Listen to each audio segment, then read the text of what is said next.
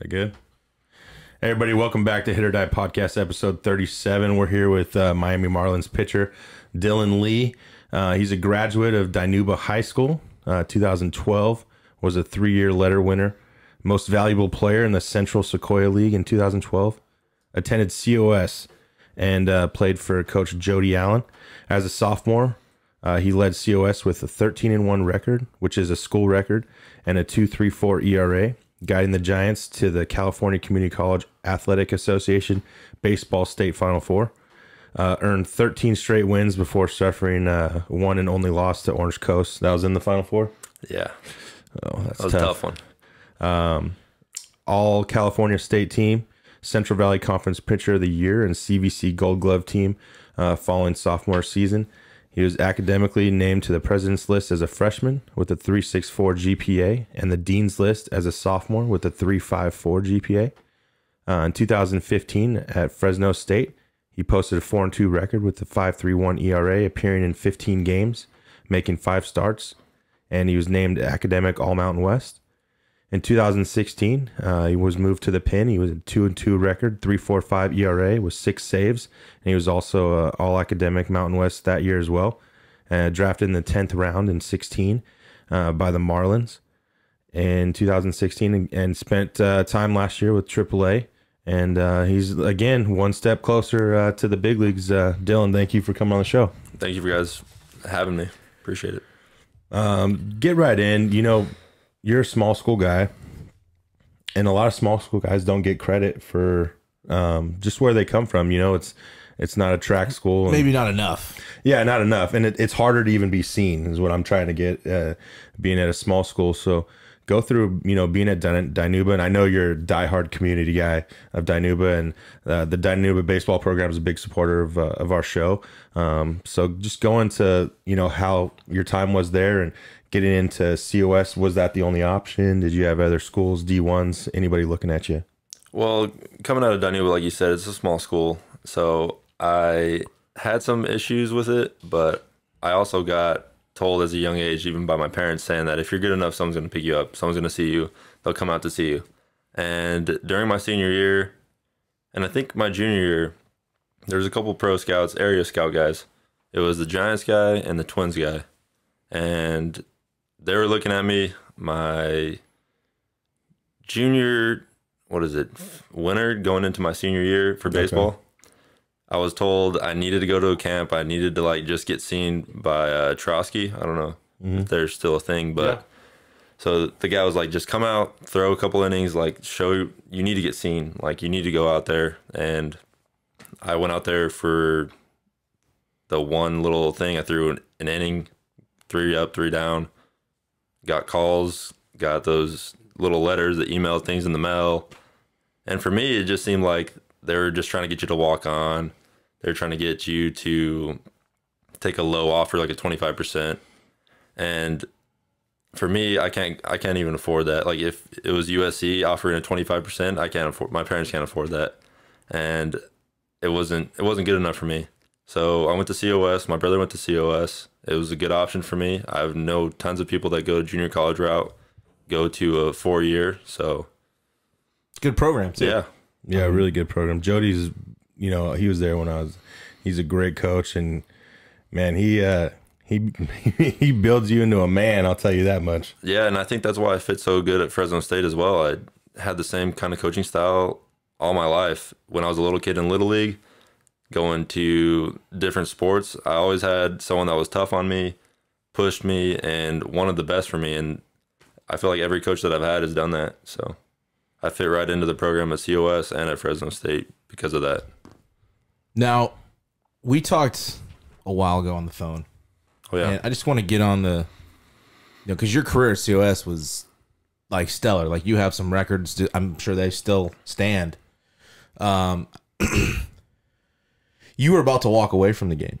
Yeah, I don't know if many people know that, but my freshman year was I don't know if you th- threw those numbers out, but my freshman year at COS wasn't the best. Had a lot of mental stuff going on. I was not thinking I was good enough. As you said, a young I was 17 at the time uh, when I graduated high school and then went to college.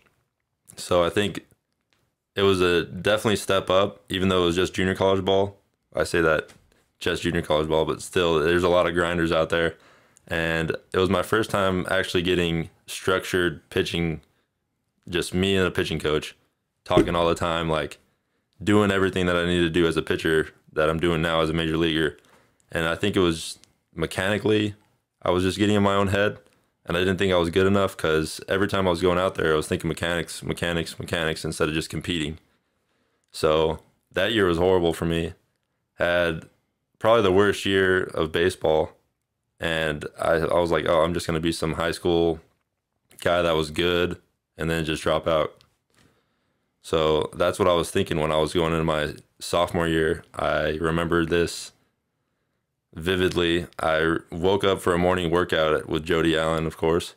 Like at 6 a.m., we have to run around the lab. And I was living in Dinuba at the time.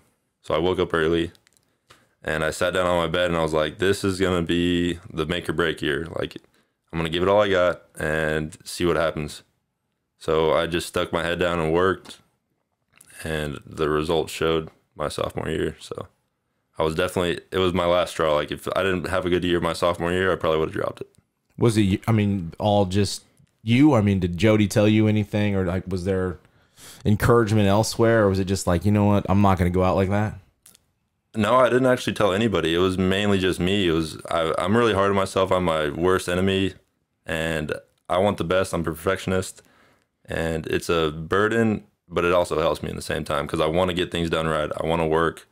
I wanted it to be the best it can be, and when I was having that failure, it was just almost like too much for me.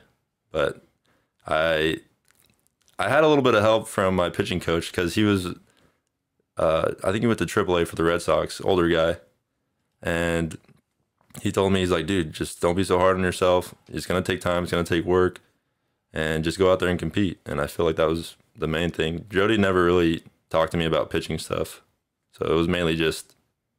I think he knew what he saw in me, and he just like go out there and do your thing. Still had his confidence in you though, even though Yeah, you know you felt like that was a rough freshman year. Um, nothing really changed in his mind. no, I don't think so. No, that's and that's awesome, dude, because that that's not very common. You know, if you're not producing, especially as the higher levels you go, it's Well, if, especially if you're not used to failure. Yeah. You know, you've been so good all your life, and then you finally get some failure, and you don't know how to handle it. It can go one way or the other, and you know, you you know grabbed it and said, you know, I'm gonna freaking do this thing Yeah. and, and stick it out, and it paid off. And 13 and one record. There's not a lot of co- junior college pitchers. People don't understand. 13 wins, even 10 plus wins in junior college, is a lot uh, with how many games you guys get to play. Um, so yeah, 13. I think that's the record even at Fresno City. Um, 13 wins, and that's probably going to hold up for a while at COS. even 13 in a row. Oh, I know, 13 in a row. You know, 13 in a row. Gee. What happened against Orange Coast? Huh? Oh man, I don't want to get into that. But no, it was crazy. During those 13 stretches, I got real like almost I had meals planned out, I had my days planned out. I was doing the same thing throughout the week. It was crazy. Like I've never I don't want to get like that again. It was it was to a point where I like my life was on a schedule and I just knew it. I was like, okay, I'm going to eat at Port of Subs and I'll go to Chipotle and I'll have a Jamba Juice and yeah, it was Trying to change it up. yeah, no, I didn't Yeah, not not trying to change it up. I was just doing the same thing, same routine. But I mean, I can't change it. It worked.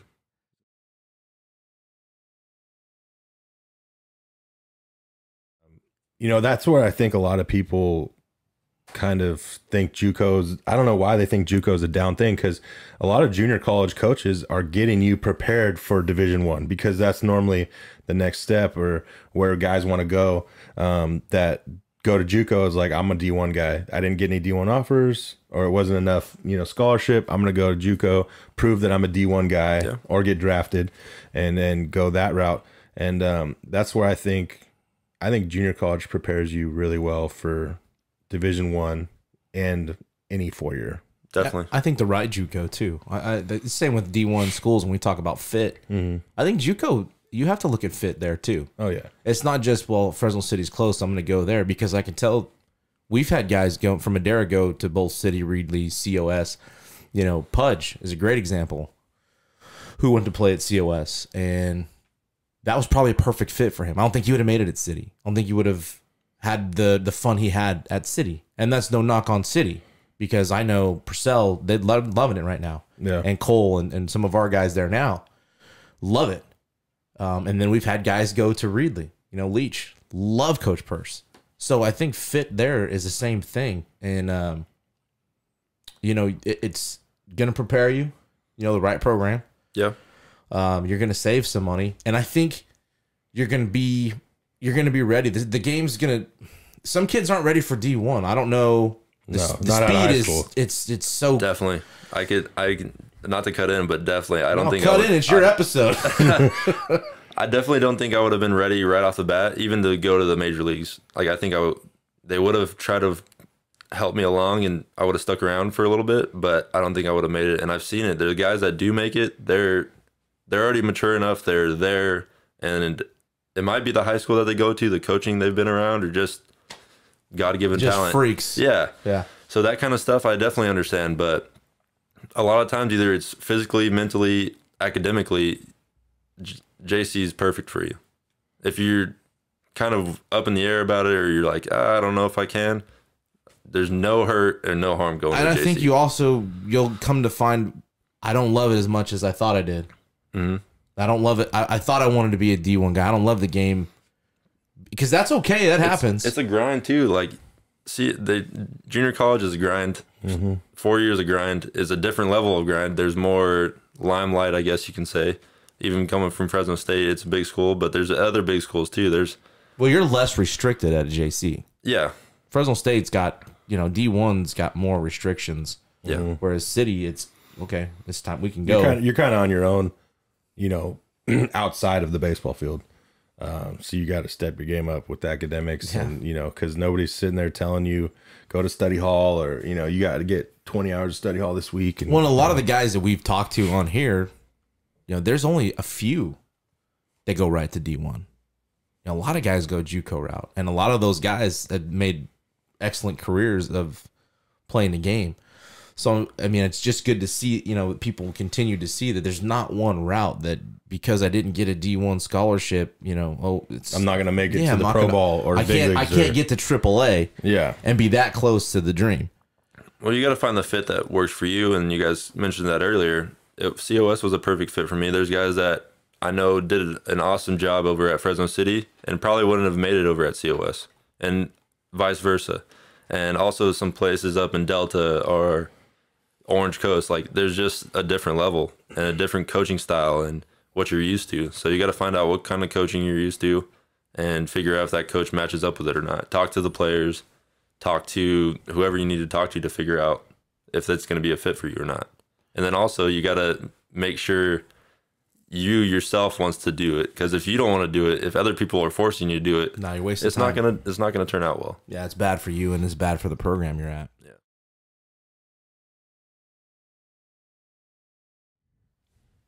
You know, you start at COS, you get into state as a starter and transition to the bullpen. And we kind of talked briefly before we started. Like mentally, were you pissed? Were you just like, if that's the role you need me to take, I'm going to do it? Can you kind of talk about, you know, with Coach Bates and the pitching coach and kind of how that happened and where you were mentally with it?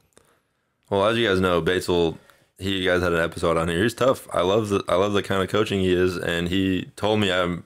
I remember him being on the mound saying, "You're not throwing hard enough. You're not throwing 90. You got to throw 90 consistently."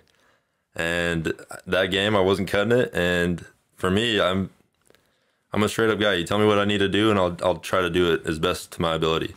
I tried, didn't work, so he put me in the pen, and I did what he needed me to do. So Do you feel like that helps you? I definitely think being in the pen helped me because it's a different mindset, different mentality than me going about my routine, kind of getting almost nonchalant about some of my work and just going through the motions, and more about the bullpen. It's like, hey, get going, you got to go. So You don't get like a night to prepare like a Yeah. starter, you know? Did you like that better? Is that I mean, some guys don't adapt well to that. yeah, I mean it. I liked it better just based on the fact that you have a couple days to prepare. But for all, I don't know if I'm just different, but it could be the second day or the third day after I get done with my start. I feel like I could throw again. and you can't go up to your coach be like, "Hey, I'm hot. Like I'm I'm ready to go." So I like that aspect of being a reliever. Is like I'm good. Like I'm good every day because of the routine and the way I take care of my arm, and I guess just the mindset of being like I got to be ready every day. Do you think that move made or break your career? I definitely think that if I was a starter, I wouldn't have got drafted. I definitely think so.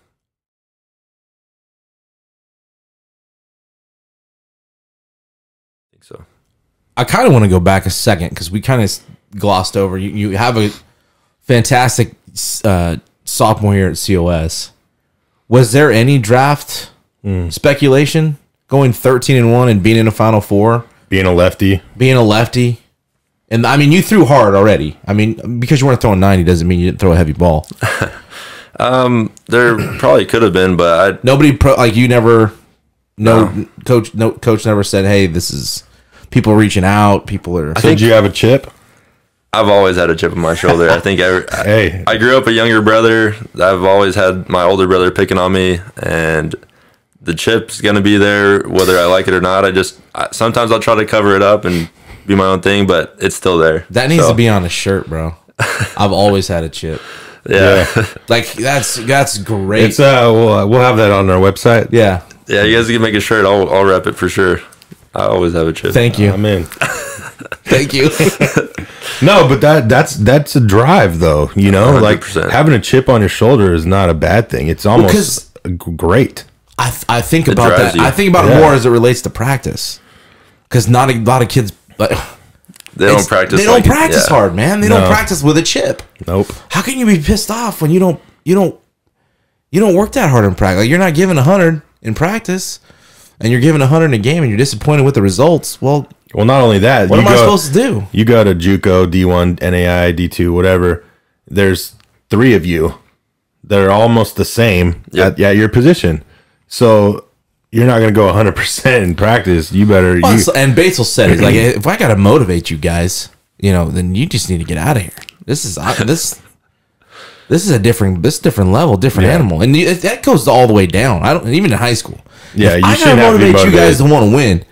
Just leave your stuff at the door. especially when we're out there for an hour and a half, two hours. right. I just remember one thing Batesole said, and it was during a game. We had it was a close game. We weren't doing too hot. I, I don't know if we were on a losing streak or not, but I remember being I was the guy that would yell whenever we're cheering. I, I'm the guy that'll get some hyped. I'll make some jokes, do whatever. And this game, it was just kind of dead silent in the dugout. And one of our guys goes like, like, hey, why is it so quiet in here? And I was like, why don't you give us something to be like excited about? I'm a pitcher. I'm just sitting in here in the dugout. I'm not gonna just be cheering when nothing's going on. And Batesole like looked at me and nothing was like said. And then the next day, we had this meeting, and he's like, "All right, I guys, got I gotta talk to you about what happened yesterday." And we're like, "What?" And uh, he's like, "Lee, what'd you say?" And I was, I thought I was in trouble. I was like, "Oh man," um, I said, "If you wanted us to cheer, why don't you guys give us something to cheer about?" And he's like, "I love that." Like, that's what it was. Just some fire and some fight that I think that he likes to see, and some of that energy. I'm not gonna fake it. yeah.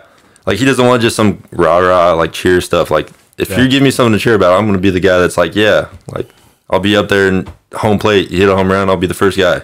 So yeah. That's one story that I remember. He's he's a no BS guy and I, that's why I think I like him so much. Yeah, I think. Me uh, too. What's that? I said me too. Yeah. I love no BS guys. They're easy to talk to. You know what you're getting. So that year, you you get drafted in the tenth round. Uh, was that like shock to you I didn't think I was gonna get drafted At in the all? tenth round. at all, or or I might have I thought I was gonna either get picked up real late, just like a senior sign kind yeah, of deal? senior sign, whatever here. And I, I know now looking back, it was mainly just saving money, but I understand the business part of it. So I'm just happy that they wanted to take me early enough, and it shows that they like me. So What was that moment like? it was it was crazy. I, I know I was delayed because Coach Batesole and the my, the agent that I have now both called me, but it was it was crazy. I was at my grandma's house. My family was there. We were just hanging out, watching, just just to see if I got drafted, and The first day, I was like, I'm not getting drafted the first day. We don't have to watch that. I know that. And then the second day, I was like, maybe it could happen. So I, I'm glad I got picked up that day because the third day would have been real long, and I would have been like, because the, that third day just goes by real Yeah. quick too. Yeah. It's just like boom, boom, boom, boom. So It's it was awesome, awesome. man. And so when you get into your first spring training and uh, like what was that experience like? Was it nerves or were you like what you know like not knowing what to anticipate? Well, once you get drafted, you go straight to the Summer league or Yeah, whatever it is, well, short they- season. short season. They can take you to your facility, check you out, make sure you're healthy, do a little physical, You kind of get a little little glimpse of it. little little glimpse of kind of spring training. Like, Yeah. they'll take you to. They did this through us. I don't know if it's normal throughout every team, but they took us through a little mini camp. After that mini camp, there's some guys that got sent up to short season and uh, Batavia. And I don't think anybody went to Greensboro, but we just stayed there at the summer league. Or yeah. And then from that, we go about our business. And then the next spring training, I had no idea what to expect because I was like, what's going to go on? Is it going to be the same thing, just extended? And that's pretty much what it was. It was the mini camp, but just about a month of it. So Yeah. and then you, they go to instructs, right? They make you go to they did make me go to Instructs after that. I don't know if it was because I was a higher draft pick or they saw something in me, but I'm, I'm grateful for that. I got to meet some people. I got to get a little closer with the coaches and some of the higher up guys too. Like we met Don Mattingly and Jeter and them, and I was like, wow, this is like pretty sick. So how was that?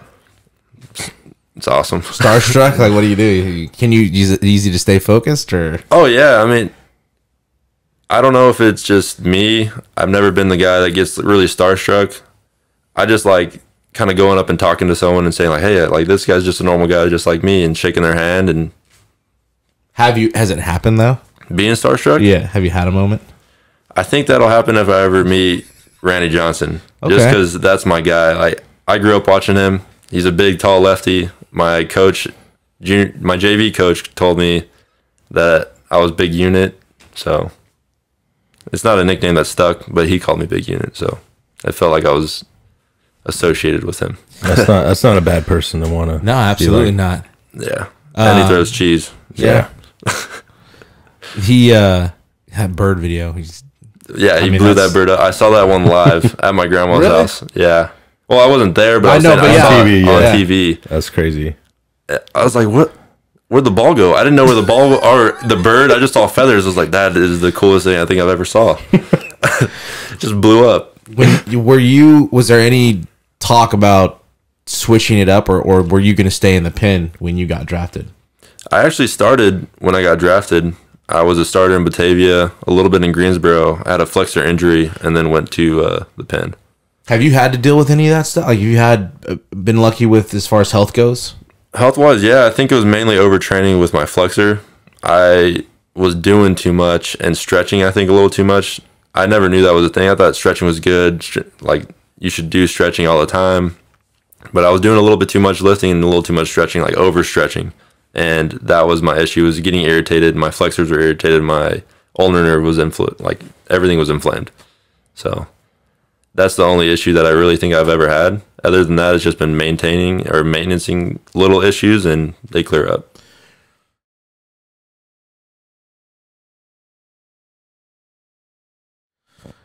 You know, guys Running 100 yard dashes and throwing the ball as hard as they can into a net. Yeah, it's just I'm I feel like if you're an outfielder, I feel like if you're you're trying to build like talk about what they're doing because people are showing that, but there's build up to that, right? They're using training balls. They're doing things prior yeah, they're to they're testing not just, the velo. It's not just running and doing that out of nowhere. Yeah. They're spending weeks doing other things To build up to right that. to build their arm strength. So when people see those videos, like, oh man, he just picked up a ball and threw it that hard. No, they're actually testing That's velocity. just the video that they took and that was the best video that they got from it. but is it kind of ridiculous? Yeah. I, I, I, don't mean, have you ever thought of that? Let I don't- go run and I don't think that I've done long toss. I've done that type of thing. It's a build up stage, but I, I for me, I just don't see the importance of it unless you're an outfielder, unless you're a guy trying to build that type of speed. But the trajectory of it is just all off.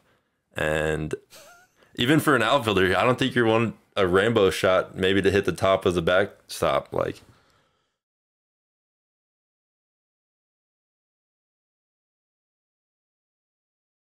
But in this day and age, I've also seen guys that are getting drafted nowadays that I don't think would have got drafted when I was like playing.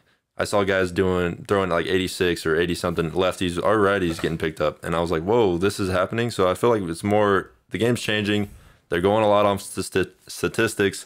They want to go off of spin rate, spin efficiency, and those numbers more than just velocity. Because I've seen guys that throw 100. I've seen guys that throw 101, 103, and I've also seen guys that are just 90 in paint, and they're the same place I am. So I can I. It's hard for me to say that velo is a determining factor when I've seen Seen both ways. I've seen other things. Yeah, so But ultimately, your goal is to get people out. that's the and, end all and goal. throwing yeah. strikes and having movement Yes. is going to do that for you. Not throwing 99, 100, 103 straight. And most of the time, it's they're th- going back to the topic of throwing it into the net. They're throwing it into the net with either not even a baseball. They're throwing it with this other training ball, and I don't I don't see the effect of that. I, I'd rather have something going flat or downhill, because that's what you want to work on. That's where your your plane is down. especially as a pitcher. Like for me, I want to work on a mound as most as possible, but I've also known that it's not good to go off a mound. It's throwing downhill. It's more torque on your arm. So I do most of my work on a flat ground, and I get the same job done. I see movement in my balls, and the same thing's gonna happen when you're gonna go on downhill. You just gotta find that trajectory, and people are gonna probably say you can do the same thing from going up to here to here, but your arm path's gonna be different. Your mechanics are gonna be different, and your arm getting up to that point when your foot lands those videos need to show where their foot lands and where their arm is and where their shoulder is because if you look at that stuff you'll see that they're out of line and not in sync with their throwing motion We'll have to we'll have to pause some of those and put them up break there. them down Yeah. you'll ha- you'll see shoulders you'll the lower half is probably perfect because that's what you it's really driving really forcing but they're just that and they're teaching that those motions and it's just not healthy for arms that for in my mind because i've seen people get hurt so So what's your routine? You're you're you're coming out. You're getting ready to leave, right? Yep. You going to big league camp? yeah Nice. Nice. Nice. yeah That uh that money meal money is going to be a lot better. that meal money is about as much as i make during the season so I, I That's try to not keep a it lie. i Not try to lie. keep it Are you anxious? A little bit. This is my second time going, and I'm definitely more hungrier than the first time. I think the first time I thought I was prepared, and well, they told me a little later. This time they told me earlier, so I'm more prepared in, in that aspect. But I'm definitely going to be more prepared. I interrupted you. We were talking about your routine Yeah, um, and going into you know your weekly work and, and things you do to get prepared. And just so our our you know younger kids or or high school players that want to get there can hear it from uh, a guy that's going there. yeah. I definitely feel like my routine might be different from other people. I feel like I'm more body weight and body movements. I want to be as flexible and strong as I can, but still having enough strength and being strong to put it up with anybody. And I just went to go with my trainer that I have, and he told me to do this workout. It was like 100 reps and 20 sets of squatting. And I haven't done that in a while. I was mainly doing just body weight stuff and some light workout stuff. And he putting weight on, and I was doing it easy. And he's like, "Where you been working out?" I was like, "At my house." Like, I, I don't do anything crazy. I just do some push ups, pull ups, sit ups, like mobile, like shoulder workouts is the biggest thing for me. I do a lot of scap things. It's stuff that I find online and I try it and I work at it. And it's just the routine that I've made. I do during the season, I try to do a shoulder workout that the rehab guys do.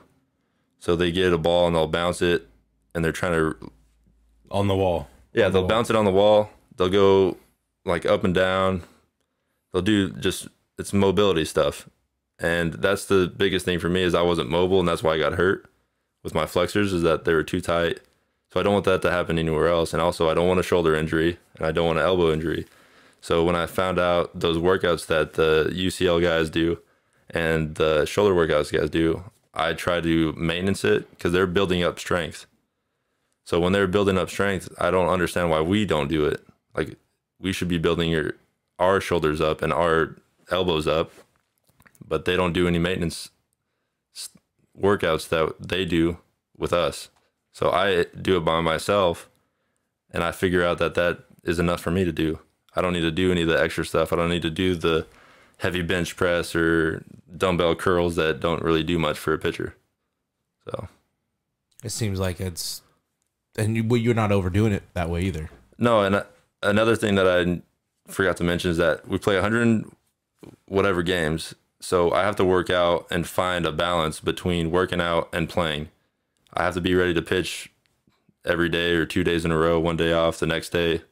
So I can't be getting those heavy lifts in and doing those heavy workouts. So mainly my stuff is lighter work and I just feel like that's the best for me. Yeah, I think that's actually a pretty good way of going about doing it too. I mean, you need to be athletic. Yeah. You can't be stiff. Um, you know, you said something interesting too about during the season, you know, being ready to pitch every day, every you know, two days in a row. Do you kind of know your schedule come season, or manager doesn't, you know, say, "Hey, we're gonna go," you know, every maybe third day or fourth day for you, you'll may get some rest if you, because you never know when you're going to be used. I guess. No. Um, I was told I could never pitch three days in a row as a reliever, but it was there was times where it was like two innings. I didn't throw a lot of pitches. They asked me if I was good for the next day. I said, "Yeah, I'm fine." Through the next day, mandatory one day off. Through the next day, and this was not last year, but the year before last when I was having a pretty good run over in Jacksonville. And they wanted me to just, I don't know if they were testing my workload, seeing how, much I could do, but I was, I felt like I was getting like used and abused. But for me, I was asking other guys and they said they're testing you out. They want to see what your workload is, like how much can you put up with. So I think I threw, I think it was five or six innings in a week, which was a lot for me. So it was like the two days that I said mandatory one day off. The next day I pitched, and I asked if I could have another day off because my arm was a little sore. That's the most workload I've done in like a week. So I was like, "Can I get another day off because I need it?" And then after that day, I pitched the next day.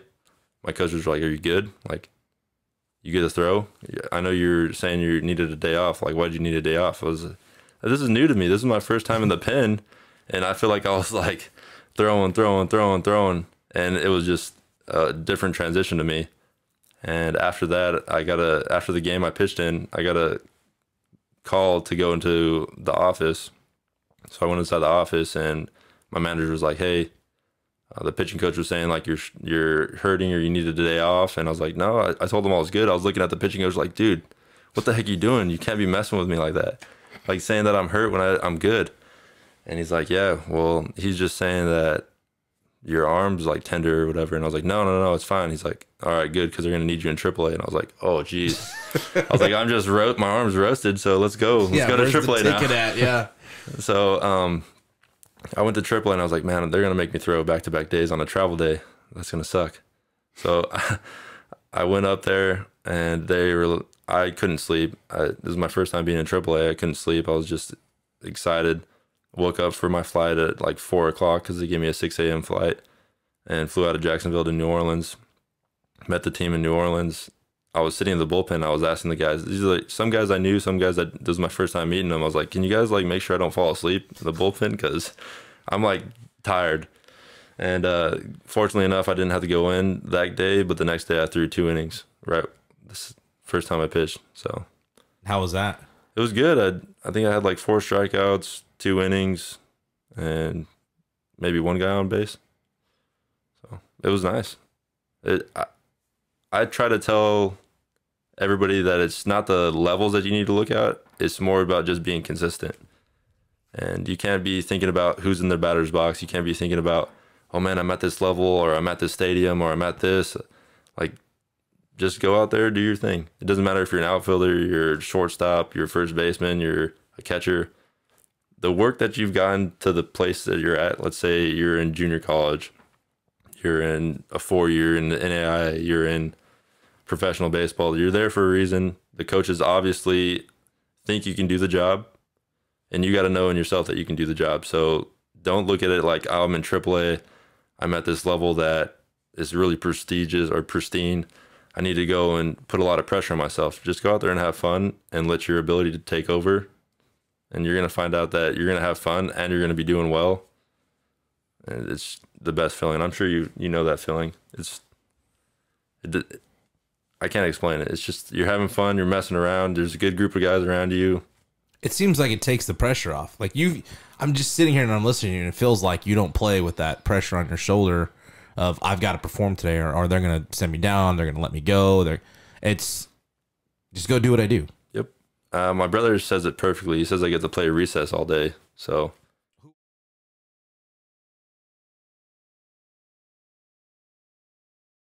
yeah. Well, one more week. Um, dude, I, I know we've been trying to get this set up for you know about a month now, so I'm Yeah. glad. I was excited when you called me. I was like, man, uh, that's awesome. Let's go do this thing. Yeah, we talked for like an hour. We did our own show. I wish we would have recorded that. Yeah. That was a really good episode. yeah, that happens. It happens a lot. Yeah, it Yeah. does. Uh, most of the time, a lot of the fun stuff. Well, this was fun. Are you kidding me? Of course. Um, but yeah, just different things, different we talked for like two and a half hours. It was- I feel like it- it, was it- it, was lengthy. Yeah, no, it was a good conversation. I was excited. I told Chad, I called him, hey, bro, this is gonna be lots of fun, man. And and it was. No, I, I appreciate you driving down here and on a Sunday. We're working on a Sunday, uh, playoff Sunday. Yeah. And, uh, Everybody's watching the football game right now, anyways. I don't think it started yet. 12. Oh, Fresno whatever. State. Or Fresno State. San Francisco is at 12, I think. Who cares? You They're into going that? to win, anyways. Who are your picks today? Well, I'm not too big on stuff, especially sport wise. I'm I'm even. I don't like picking teams nowadays because too many players transition in and out of teams. So I'm more of like a player guy. I'll watch players. Okay. Who's your player right now for the NFL? I don't watch too much NFL. What about baseball? Judge. No. I during the season, the only time I watch is like the Marlins, when especially in AAA. I never knew that was such a thing where you'd watch who got hurt, who's like doing what, and AAA they're they're mainly just watching to see who like if somebody got hit by a ball or somebody got injured during a game, and it's it's sad to think about, but that's when people get moved. So that's mainly when I'm watching stuff in baseball. I don't really watch it too much No? outside of baseball. All right. All right. Just throw, throw it out there. See if there was a. He is a lefty pitcher, so. Well, Randy Johnson. They are, they are known to be a little out A little there. weird. That's all right. Andy's a weird right-handed pitcher, so Andy should have been lefty. Probably be in the big leagues. There's a lot of guys that they're like, yeah, you're definitely left-handed. So It's not a bad thing. no, heck no, I, I embrace it. no, it, dude. If people don't, it's it's it's it sucks. I'm left-handed, right left-handed. You know, You're not left-handed. I right left-handed. Don't claim yes. to be left-handed. You're not left-handed. You played you played third base and bad right-handed. You're not left-handed. I, I write left-handed, and so people don't realize just growing up how much life sucked I need to ju- left-handed. I need to just put like another shirt idea is like I'm left-handed. I'm weird. yeah, yeah, that works too. Because then they don't even have to ask, or they, they see me doing something weird. They're like, nah. They just know. Makes sense. Yeah, it makes like, sense. Ah, we'll, we'll leave him alone. He's okay. Yeah. No, no, uh no, I appreciate you coming down here on a Sunday, uh, taking time out of your day away from your family right before you're leaving. But uh I'm glad we got to get this in. And uh dude, if we we can help you in any way, we'd love to. You helped I mean I learned some stuff today, just definitely want to take a little more of your mental approach to the game, man. I think I think that's if I took anything, that's one thing I think anybody could use. Uh in, in any sport. yeah. You know, that mental approach is just Even it- it- life, just yeah. I haven't talked to many people that are there on that level. So, uh, dude, all all the best, man. I hope you guys. I hope you get where you want to go this year, man. You're close. Thank you, yeah. uh, we'll be rooting on rooting you on, man. Yeah, next off season we'll uh, we'll be getting the big leaguer Dylan Lee on here. Yeah. No, same guy. Hopefully. I'm telling you, it's just gonna be the That's same. That's another thing. thing we talked about. Be You the know, same thing. you know, just being humble. Yeah. You know, My parents, they're probably still going to be living in Dinuba, but my grandparents will live there. I, I love the small city stu- stuff. you I- are who you are, dude, and that's that's fantastic. There's nothing wrong with There's that. nothing fake about that. I think that's why I appreciate it. Yeah. I appreciate you guys accepting me for Heck who I am. no, yeah, yeah, yeah, always, always. Um, Well, good luck this year, man. We'll be following you and, and make sure everybody goes and uh, keeps their eye on Dylan Lee here. And uh, Chad, anything else? No, it was great, man. And we're, I'm he's been talking my head off about getting you on, so I'm I'm glad we finally did it and uh, got to meet you. And yeah, nothing but the best this year. And you know, knowing your mindset and where you're at, I mean, it's gonna happen. Appreciate it. It Thank is you. gonna happen. Yeah, I know. That's uh, again, I'm excited, man. Again, thank you for coming down. And uh, well, that's every, uh, episode 37 of the Hit or Die podcast. Thanks, everybody. Hit or die.